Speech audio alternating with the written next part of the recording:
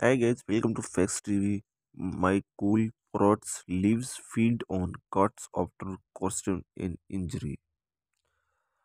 The tense is tense or currently taking on the Miami Dolphins on week 17. A victory always stands to chance for the AFC South for the second. Constant season in the row over in the process the team will be well out MyCole Pruitt for the remainder of the year after uh, suffering the Grom's injury. In the first half, was crowds of the field after the play ended. Protz called in the swimming is the first on the ground. He's with the